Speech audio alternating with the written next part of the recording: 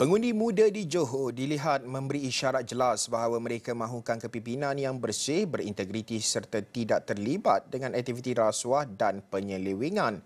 Ketua Pemuda PAS Johor Ahmad Naufal Mahfuz berkata, bagaimanapun parti Islam itu sejujurnya risau jika pengundi muda terutama yang berusia 18 tahun belum bersedia untuk keluar menjalankan tanggungjawab sebagai pengundi pada pilihan raya akan datang.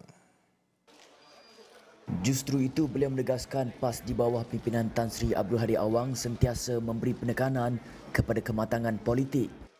PAS sendiri sentiasa berpegang kepada uh, berkebajikan um, dan berkebajikan ini uh, perlu dilihat lebih luas bukan semata-mata soal hantar bantuan depan pintu.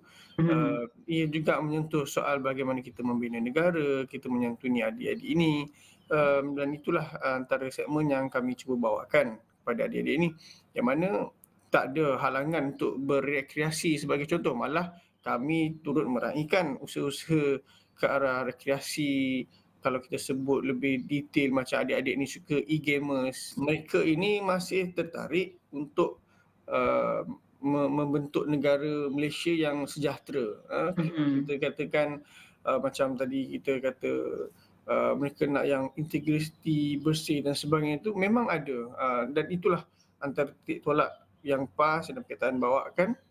Mengulas lanjut, Ketua Pemuda Perikatan Nasional PN itu berkata, parti-parti komponen dalam PN turut memainkan peranan penting dalam membimbing generasi muda ke arah hala tuju politik yang lebih bersifat segar dan bebas salah laku.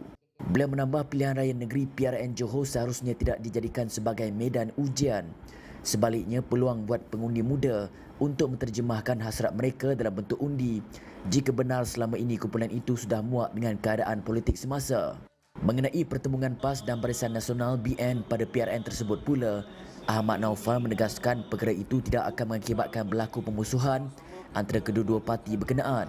Malah katanya PAS kekal komited untuk memperkukuhkan muafakat nasional MN dan pada masa yang sama mempertahankan PN. Pada masa sama, Ahmad Naufal berharap PAS akan mengemukakan lebih ramai calon muda pada PRN kali ini sekaligus mempertimbangkan peningkatan sekurang-kurangnya 30% pada pilihan raya umum ke-15 akan datang.